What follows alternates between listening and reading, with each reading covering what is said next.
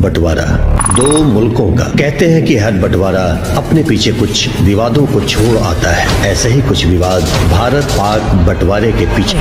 जो नमक हिंदुस्तान दोस्तों फ़िल्म गदर टू साल उन्नीस सौ इकहत्तर में हुए। भारत व पाकिस्तान के बीच हुए।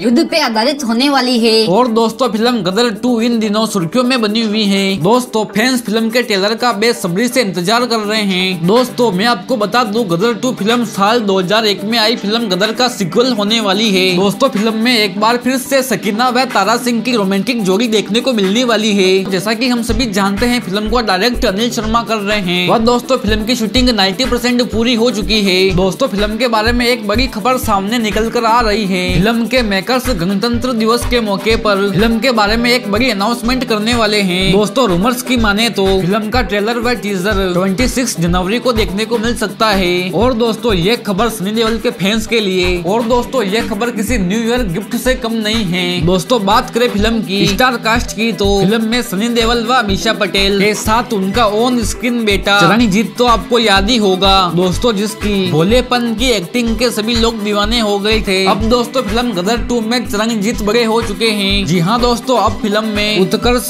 शर्मा भी लीड रोल में दिखाई देने वाले हैं। इसके अलावा फ़िल्म में अनिल, जॉर्ज, मनीष वाधवा और सिमरन कौर भी फ़िल्म में मुख्य भूमिका में दिखाई देने वाली है। दोस्तों, बात करें फ़िल्म की स्टोरी के बारे में तो। फ़िल्म एक एक्शन थ्रिलर होने वाली है, जो की साल उन्नीस सौ इकहत्तर में हुए। इस बार दोस्तों फ़िल्म में तारा सिंह अपने बेटे को बचाने पाकिस्तान जाने वाले हैं। जो की वॉर में ही फंस जाता है। दोस्तों अगर बात करें फ़िल्म सिनेमा गृह में कब तक आने वाली है तो साल 2023 15 अगस्त के दिन सिनेमा गृह में देखने को मिलने वाली है फ़िल्म गदर टू। दोस्तों एक बार फिर से आप सकीना व तारा सिंह की रोमांटिक जोड़ी को देखने के लिए। इतने क्रेजी हो प्लीज़ कमेंट में ज़रूर शेयर करें।